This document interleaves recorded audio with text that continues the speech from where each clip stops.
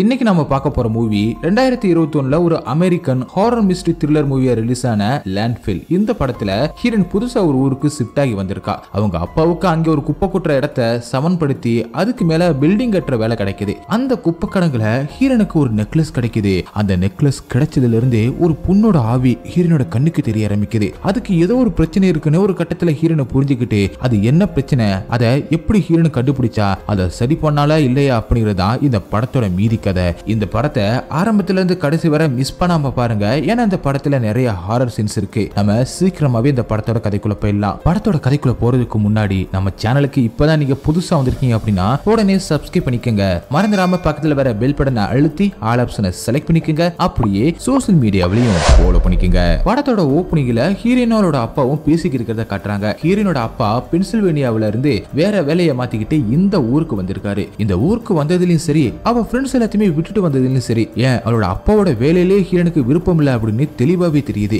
ஹீரனோட அப்பா இங்க இருக்கிற ஒரு குப்பை கடங்குல இருக்கிற குப்பை எல்லாத்தையுமே போட்டு அந்த இடத்த சமன்படுத்தி அது மேல வீடு கட்டுறதுக்கான வேலையை பார்க்க வந்திருக்காரு. ஹீரோனும் அப்பா கிட்ட பென்சில்வேனியாவுல நீங்க நல்லா ஆபீஸுக்கு டை எல்லாம் கட்டிட்டு தானப்பா போய்கிட்டு இருந்தீங்க? அப்படின்னு கேட்க டை கட்டியிருந்தா நல்ல சம்பளம் கிடைக்கும் அப்படின்னு அர்த்தம் இல்லாம அப்படின்னு அப்பா சொல்றாரு. அதுல இருந்து ஹீரோனோட ஃபேமிலி கொஞ்சம் பினான்சியலா ப்ராப்ளம்ல இருக்காங்க அப்படின்னு புரியுது. அதுக்கு காரணம் ஹீரோனோட அம்மா ட்ரெஸ் டிசைனிங் பண்ற வேலையை பண்ணிக்கிட்டு இருந்தாங்க.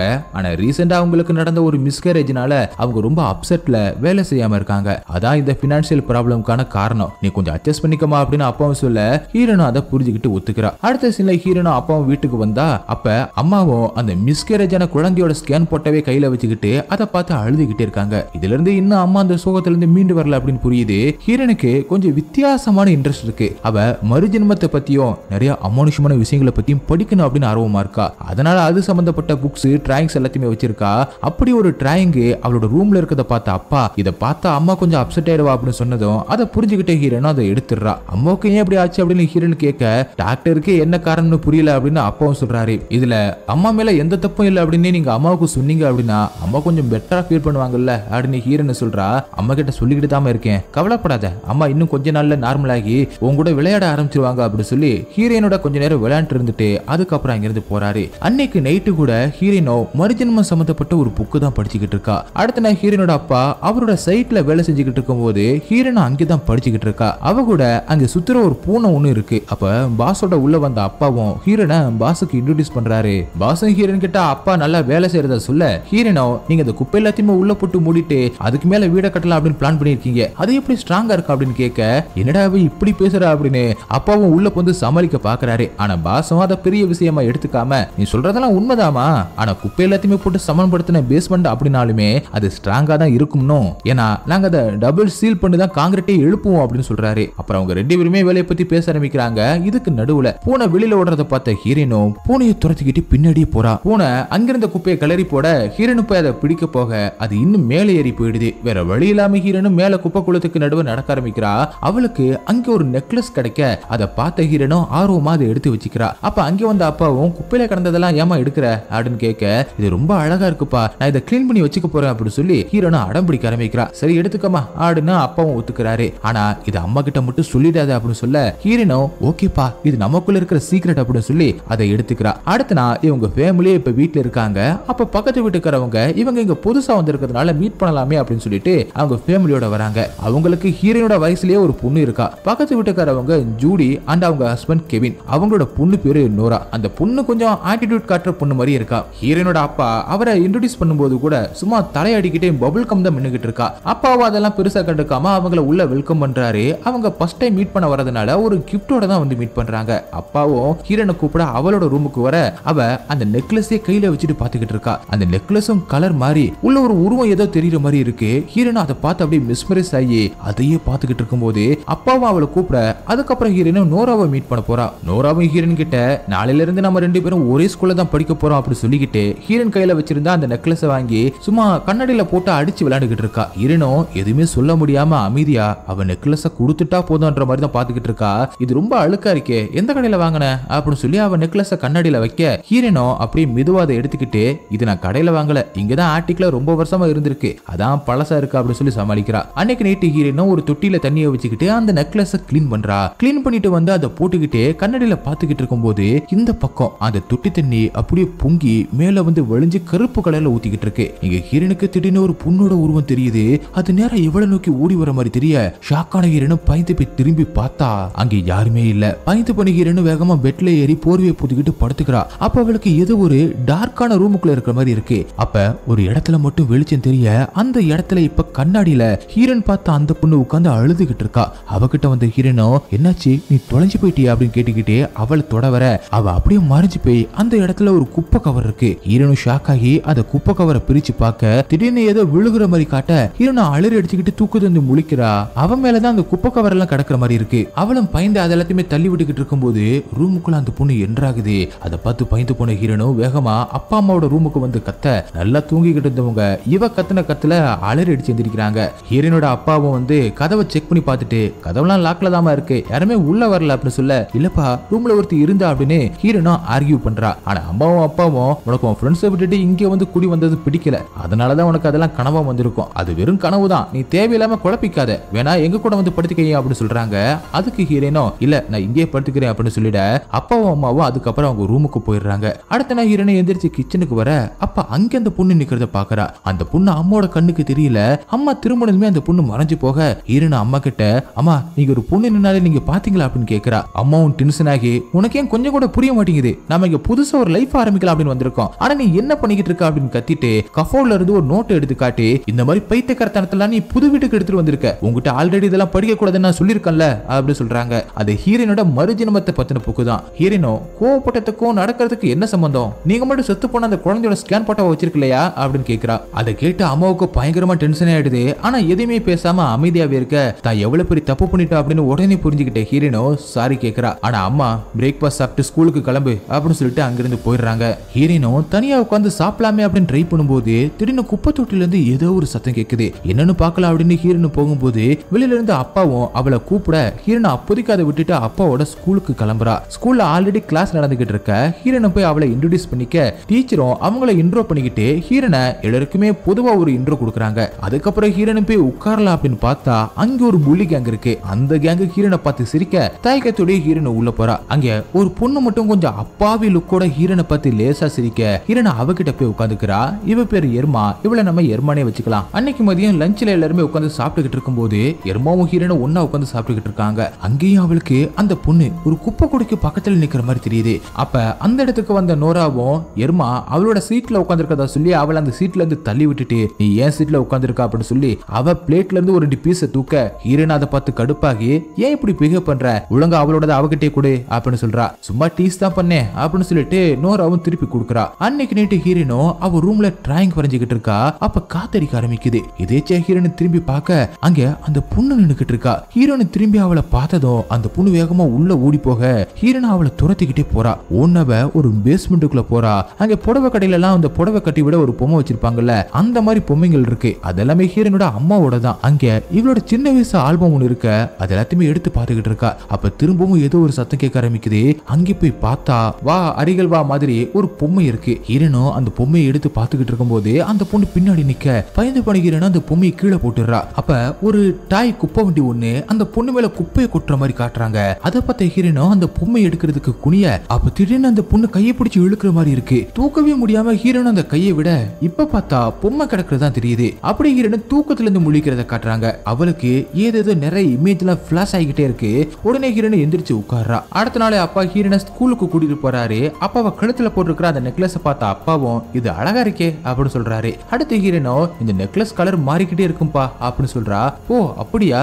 எங்க சின்ன வயசுல கூட அப்படி ஒரு ரிங் இருந்துச்சு. நம்ம பாடி டெம்பரேச்சருக்கு ஏத்த மாதிரி கலர் மாறும். ஆனா இப்ப அதெல்லாம் இல்ல அப்படின்னு பேசிட்டு வராரு. அப்ப திடீர்னு ஹீரோயினோ அப்பா நீங்க வேலை செய்யற இடத்தோட பேர் என்ன அப்படின்னு கேக்குறா. சோகா டிரைவ் அப்படின்னு அப்பாவும் சொல்றாரு. அப்ப சிக்னல்ல வண்டி நிக்க அப்பவும் அந்த பொண்ணு ரோட்ல நிக்கிறதே ஹீரோன் பாக்குறா. இந்த பொண்ணு இனிமே எப்பவுமே தன்னை பின்தொடர்ந்து வருவா அப்படின்னு ஹீரோனுக்கு தெளிவாவே புரியுது. ஹீரோனும் பாத்துக்கிட்டே இருக்கும்போது அந்த இடத்துல ஒரு ஆள் கிராஸ் பண்ணி போனதும் அந்த பொண்ணு மறைஞ்சு போயிடுறா. அடுத்த சில ஹீரோனு கிளாஸ்ல இருக்கா? கிளாஸ்ல டீச்சர் பாடம் நடத்திக்கிட்டு இருக்காங்க. இந்த பக்கம் ஹீரோன் அந்த பொண்ணை பத்தி நினைச்சுக்கிட்டு இருக்கா. இவ கவனிக்கல அப்படிங்கறத கவனிச்ச டீச்சரும் புக்கெடுத்து இப்ப நடத்திக்கிட்டு இருக்கிறத வாசிக்க சொல்றாங்க. நம்ம ஸ்கூல் டீச்சர்ஸ் மாதிரிலாம் அவங்க ரொம்ப ஸ்ட்ரிக்டால இருக்க மாட்டாங்க. அதனால எருமா எங்க விட்டாங்க? அப்படிங்கிற இடத்த காட்ட ஹீரோனும் அங்கிருந்து வாசிக்க ஆரம்பிக்கிறா. அதுல ஒரு இடத்துல கெராஜ் அப்படிங்கிற ஒரு வார்த்தை இருக்க. ஆனா ஹீரோனோட புக்குல மட்டும் அது கார்பேஜ் இருக்க. ஹீரோனும் அத கார்பேஜ்னு அதாவது குப்பை தொட்டின்னு அர்த்தம் வர மாதிரி வாசிக்கிறா. அதை கேட்ட முள்ளிக்கு அங்க இவங்க சிரிக்க ஆரம்பிக்கிறாங்க. கிரணுக்கு திடீர்னு அங்க இருக்கிற எல்லோருமே அந்த பொண்ணு மாதிரியே தெரியுறாங்க. அது மட்டும் இல்லாம எல்லாருமே கார்பேஜ் கார்பேஜ் அப்படின்னு சொல்லிக்கிட்டு இருக்க ஹீரனும் பயத்தோட சுத்தி பாத்துக்கிட்டு இருக்கா. டீச்சரும் எல்லாருமே அமைதியா இருக்க சொல்லிட்டு ஹீரன் கிட்ட வராங்க. ஹீரனும் அவ புக்ல அப்படிதான் இருக்குன்னு சொல்றா. ஆனா டீச்சர் பார்க்கும்போது இங்க யாராச்சும் தான் இருக்கு. ஹீரனும் புரியாம முழிச்சுக்கிட்டு இருக்கா. திரும்பவும் முள்ளிக்கு அங்க சிரிக்க அவங்க எல்லாத்தையுமே கண்ட்ரோல் பண்றதுக்காக டீச்சரும் சரி நீ அசைன்மெண்ட்டுக்கு என்ன டாபிக் யூசேஜ் வச்சிருக்க? அப்படின்னு ஹீரன் கிட்ட கேட்க அதுக்கு ஹீரனும் லேண்ட்ஃபில் பத்தியும் சோகா டிரைவை பத்தியும் அசைன்மெண்ட் பண்ண போறதா சொல்றா. அதை பார்த்த எம்மா உனக்கு அந்த தெருவுல நடந்த கொலை பத்தி தெரியுமா? அதான் அதை பத்தி அசைன்மெண்ட் பண்ண போறியா? அது ரொம்ப இன்ட்ரெஸ்டிங்கா இருக்கும். நானும் உன் கூட சேர்ந்துக்கிட்டுமா அப்படின்னு கேக்குறா. டீச்சரும் லேண்ட்ஃபில்ல பத்தி மட்டும்தான் ஓகேன்னு ஒத்துக்கிறாங்க. ஹீரினா அவ ரூம்ல அந்த நெக்லஸ பார்த்துக்கிட்டே உட்காந்துக்கிட்டு இருக்கா. அப்ப அவ பிட்டுக்கு பக்கத்துல அந்த பொண்ணு நிக்கிறா. இந்த தடவை ஹீரோன் அந்த பொண்ணை பார்த்து ஷாக்ல ஆகல. அவகிட்ட ஹாய்னு சொல்றா. அந்த பொண்ணு தயக்கத்துடைய கையை காட்ட ஹீரோனு தன்னை இன்ட்ரடியூஸ் பண்ணிக்கிட்டு உன் பேர் என்ன? அப்படின்னு கேக்குறா. அந்த பொண்ணு வாயசைக்கிறா ஆனா எந்த ஒரு சத்தமும் வரல. உன்னால பேச முடியாதா? அப்படின்னு ஹீரோனு கேட்க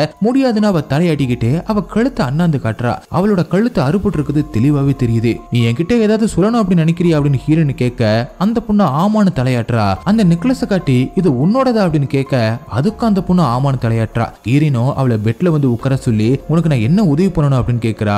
அவ சைக்கிளே ஏதோ ஒண்ணு சொல்ல ஆனா ஹீரனுக்கு ஒண்ணுமே புரியல. ஹீரோனோட பெட் செட்டை எடுத்து போதிக்கிட்டு அதுக்குள்ள உட்காந்துக்கிறா அந்த பொண்ணு. ஹீரோனோ அவளை சமாதானப்படுத்துறதுக்காக அந்த போர்வையை எடுத்தா உள்ள ஒரு லேடி ஒரு பக்கம் முகம் சதஞ்சு மாதிரி டக்குன்னு திரும்ப ஹீரோன் அதை பார்த்து பயந்து போய் ஷாக் ஆகி கத்திடுறா. அப்படியே அங்க கட் பண்ணி அடுத்த சீன்ல ஹீரோனோ தன்னோட அம்மாவை பார்க்க போறா. அம்மா ஒரு புது ட்ரெஸ்ஸை டிசைன் பண்ணிக்கிட்டு இருக்காங்க. உள்ள வந்த ஹீரோனோ அன்னைக்கு அப்படி பேசுனதுக்காக திரும்பவும் சாரி கேட்க அம்மாவும் சந்தோஷமா? உனக்கு என்ன பிரச்சனை அப்படின்னாலும் என்கிட்ட சொல்லலாம் அப்படின்னு சொல்லி உனக்கு நான் மேக்கப் போட்டு விடட்டுமா? அப்படின்னு மேக்கப் போட்டு விடுறாங்க. அவங்க திரும்பவும் டிசைனிங் பண்றது மேக்கப் போடுறது எல்லாமே ஹீரனுக்கு சந்தோஷமா இருக்கு. அவளும் அம்மா கூட சந்தோஷமா பேசுறா. அம்மா ஹீரன் போட்டிருக்கிற அந்த நெக்லஸை பார்த்துட்டு இதை யார் உனக்கு கொடுத்தது? அப்படின்னு கேட்க அப்பாதாம்மா கொடுத்தாரு அப்படின்னு உடனே உடனே ஹீரோனு சமாளிச்சிடுறா. ஹீரினோ மேக்கப்ப கண்ணாடியில பாக்குறா. அப்ப அவளுக்கு அது பொண்ணோட பேமுகம் தெரியுது. அவ ரத்த வந்து எடுக்கிற மாதிரி தெரிய ஹீரோனை பயந்து கத்தி அலறிடுறா. அதை பார்த்து அம்மாவும் ஷாக் ஆயிடுறாங்க. அந்த சத்தம் கிட்ட அப்பாவும் அலறி அடிச்சுக்கிட்டு அந்த இடத்துக்கு ஓடி வராரு. ஹீரனை அனுப்பிட்டு அப்பாவும் அம்மாவை சமாதானப்படுத்த பார்க்க அவளுக்கு இன்னும் இந்த இடம் செட் ஆகல போல இருக்கு. முதல்ல அவளை அந்த மாதிரியான புக்ஸ் எல்லாத்தையுமே படிக்க விடாதீங்க அப்படின்னு அம்மா சொல்லிக்கிட்டு இருக்காங்க. இந்த பக்கம் ஹீரோனும் கீழே வந்து ஷோபாவில் படுத்திருக்க. அப்ப அந்த பொண்ணு மறுபடியும் ஹீரோனோட கண்ணுக்கு தெரிய ஹீரோன் வேகமா எந்திரிச்சு உனக்கு என்ன வேணும்? ஏன் இப்படி என்ன பாடா படுத்துற? அப்படின்னு கோவப்பட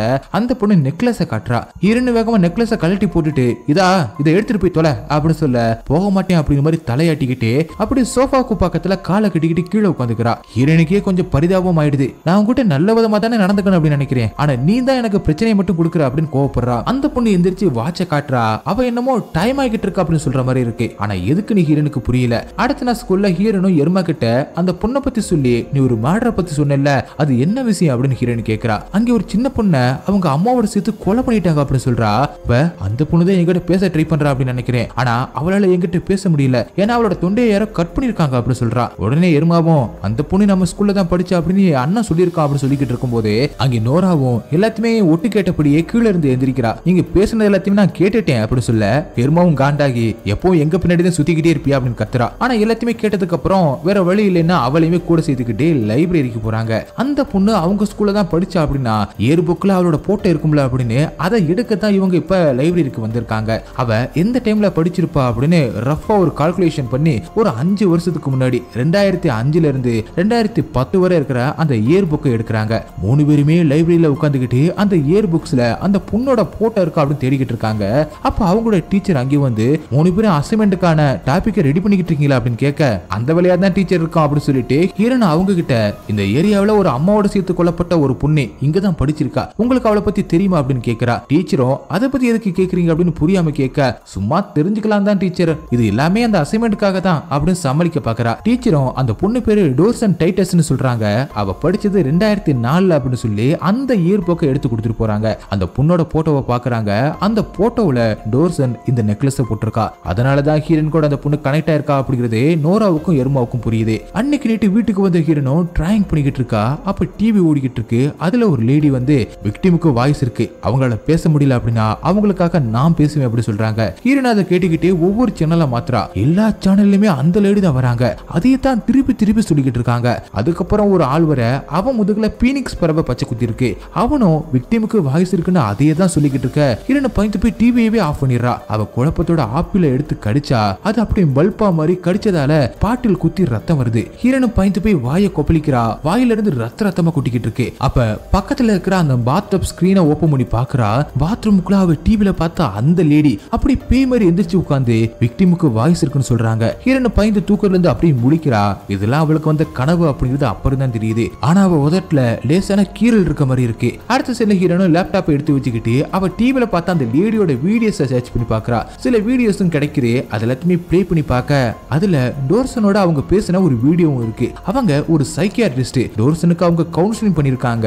ஹீரன் அந்த வீடியோவை ப்ளே பண்ணி பாக்குறா இப்ப. அதுல அந்த டாக்டரும் அவளுக்கு என்ன பிடிக்கும் அப்படின்னு கேட்க டோர்சனும் உடனே என் அம்மாவை பிடிக்கும் அப்படின்னு சொல்றா. அப்புறம் வரையறதுக்கு ரொம்பவே பிடிக்கும் அப்படின்னு சொல்றா. அவ வரைஞ்ச சில பிக்சர்ஸுமே எடுத்து காட்டுறா. அதை ஹீரோனும் பிரிண்ட் எடுத்து வச்சுக்க அதுக்கப்புறம் அந்த மாடரை பத்தி அவ ஆன்லைன்ல சர்ச் பண்ணும்போது அவங்க அப்பா தான் அம்மாவையும் பொண்ணுமே கொண்டு இருக்காரு அப்படின்னு அதுல போட்டிருக்கு. அப்பா பேரு டேவிட் அம்மா பேரு சூசன். டேவிட் சூசனை மென்டலாவும் பிசிக்கலாவும் ரொம்பவே அபியூஸ் பண்ணிருக்காரு. கடைசியில டைவர்ஸுக்கு சூசன் அப்ளை பண்ணிருக்காங்க. அதனால தான் டேவிட் டென்ஷன் ஆகி மென்டல் இஷ்யூஸ்னால ரெண்டு பேருமே கொலை பண்ணிருக்காரு அப்படின்னு போட்டிருக்கு. அதுலயும் சூசனை பெரிய சுத்திலாலே அடிச்சு கொலை பண்ணிட்டு அந்த லேண்ட்ஃபில்ல தூக்கி போட்டிருக்கான். ஆனா டோர்சனோட பாடி கிடைக்கல அப்படின்னு நியூஸ்ல போட்டிருக்கு. டாக்டரோட போட்டோஸ் வச்சு டோர்சனோட வீடு பேரு பீனிக்ஸ் ரெசிடென்சி அப்படின்னு ஹீரன் கண்டுபிடிக்கிறா. அந்த அட்ரஸ் எடுத்துக்கிட்டு ஹீரோனோ அங்க டிராவல் பண்ணி போறா. டோர்சன் அவ வீட்டுக்கு போற வழியில இருக்கிற அந்த இடங்களை தான் படமா வரைஞ்சிருக்கா. ஹீரன் அந்த வீட்டுக்கு வந்து வீட்டை திறந்து பார்த்தா வீடு பூட்டி இருக்கு. அப்ப அங்க ஒரு செடி தொட்டி கீழே உடைஞ்சு கிடக்கிறத பார்த்த உடனே ஹீரனுக்கு பிளாஷ்பேக்ல நடந்த ஒரு விஷயம் தெரியுது.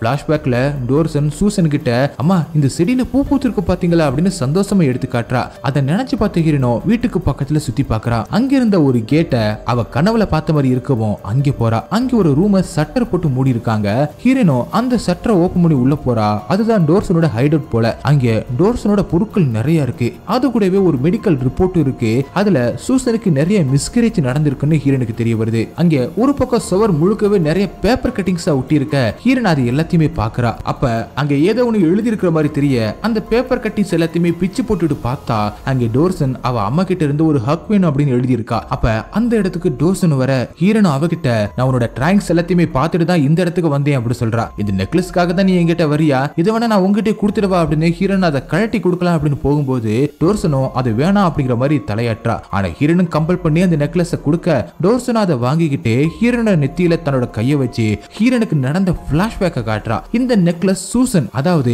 அவளோட அம்மா தான் டோர்சனுக்கு கொடுத்துருக்காங்க. சூசனுக்கும் டேவிட்டுக்கும் எப்பவுமே சண்டை வந்துகிட்டு தான் இருந்திருக்கு. டேவிட் டோர்சனை கழுத்து நெரிச்சு கொலை பண்ணியிருக்கான். அப்படி அந்த பிளாஷ்பேக் முடிஞ்சு பிரசன்ட்டுக்கு வர டோர்சனை அழுதுகிட்டே இருக்க ஹீரோன் அவளை சமாதானப்படுத்துறா. அடுத்த ஸ்கூலுக்கு வந்த ஹீரோனும் நோரா கிட்டையும் எருமா கிட்டையும் எல்லாத்தையுமே சொல்றா நோராவும் பேசாம அந்த நெக்லஸை தூக்கி போட்டுடா அப்படின்னு சொல்ல அதனால ஒரு யூஸும் இல்ல. நாங்க ரெண்டு பேருமே கனெக்ட் ஆகி தான் இருக்கோம். அவளுக்கு ஏதோ ஒரு பிரச்சனை இருக்கு. அவளை கொலை பண்ணிருக்காங்க அது தெரிஞ்ச நான் எப்படி அவளை விட்டுட்டு போக முடியும்? அப்படின்னு கேக்குறா. சரி அவளுக்கு என்னதான் வேணுமா அப்படின்னு எருமாவும் கேட்க அவளோட பாடி நம்ம கண்டுபிடிக்கணும். அதை பண்ணாதான் அவளை ஃப்ரீ பண்ண முடியும் அப்படின்னு ஹீரன் சொல்றா. அன்னைக்கு நைட்டு மூணு பேருமே அந்த லேண்ட் ஃபில்லுக்கு போறாங்க.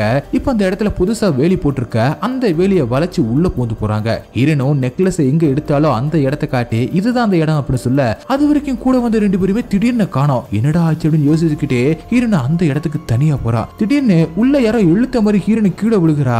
அப்படியே அங்கே கட் பண்ணி உள்ள குப்பை குளத்துக்கு நடுவுல தான் ஹீரனு கிடக்குறா. அது ஒரு பெரிய பள்ள மாதிரி இருக்கு. பக்கத்துல டோர்சன் இருக்கா? ஹீரோனை தேடிக்கிட்டு அந்த இடத்துக்கு நோராவும் எருமாவும் வராங்க. நீ கீழே விழுந்ததை பார்த்தோம். அதான் இந்த இடத்துக்கு வந்தோம் அப்படின்னு சொல்றாங்க. அப்ப டோர்சனும் அவங்க கண்ணுக்குமே தெரியறா? இவங்களும் ஷாக்கோனி ஆச்சரியமாவும் அவளை பார்த்துக்கிட்டே இருக்கும்போது திடீர்னு டோர்சன் பயங்கரமா அலறி கத்துறா. இவங்க புரியாம பார்த்துக்கிட்டே இருக்கும்போது அப்படியே அங்கே பிளாக் அவுட் பண்ணி இவங்க மூணு பேரும் அந்த குப்பை கடங்கு பள்ளத்துக்கு வெளியில முழிக்கிற மாதிரி காட்டுறாங்க. ஹீரோனா அவங்க கிட்ட அந்த பள்ளத்துக்குள்ள டோர்சன் இருந்ததை நீங்க ரெண்டு பேரும் பாத்தீங்கல்ல அப்படின்னு கேட்க ஆமா பார்த்தோம் அப்படின்னு சொல்றாங்க. சோ நடந்தது கனவு இல்ல. அப்ப எருமாவும் பேசாம இது எல்லாத்தையுமே உங்க அப்பா கிட்ட சொல்லலாமே அப்படின்னு கேட்க என்ன சொல்ல சொல்ற? அவர் மூணு வாரமா இந்த இடத்துல வேலை செஞ்சுக்கிட்டு இருக்காரு. இப்ப வந்து அவர் வேலை செஞ்ச அந்த இடத்துக்குள்ள ஒரு பொண்ணோட பாடி இருக்கு. நீங்க இது எல்லாத்தையுமே திரும்ப தோண்டுங்க அப்படின்னு சொல்ல சொல்றியா? அப்படின்னு கோமா சொல்லிக்கிட்டு இருக்கும்போதே அந்த இடத்துக்கு ஹீரோனோட அப்பாவோட பாஸ் வந்துடுறாரு. நீங்க மூணு பேரும் இங்க என்ன பண்ணிக்கிட்டு இருக்கீங்க? அப்படின்னு கேக்குறாரு. அதுக்கு பொண்ணுங்களும் ஏதேதோ காரணம் சொல்ல? பாஸும் ஹீரன் கிட்ட திரும்பி உங்க அப்பாவுக்கு நீங்க இங்க வந்தது தெரியுமா? அப்படின்னு கேட்க தெரியும். அவரே வந்து எங்களை கூட்டிட்டு போயிருவாரு அப்படின்னு ஹீரோனை சமாளிக்கிறா. சரி சீக்கிரம் இங்கிருந்து கிளம்பிடுங்க. கூடிய சீக்கிரமே இது எல்லாத்தையுமே க்ளோஸ் பண்ணிட்டு நாங்க வீடு கட்டிடுவோம் அப்படின்னு சொல்லிட்டு அங்கிருந்து கிளம்புறாரு. பாஸ் போனதும் ஹீரோனோ அவங்க ரெண்டு பேருக்கிட்டையுமே கொஞ்சம் கோவமா மூஞ்சி வச்சுக்கிட்டு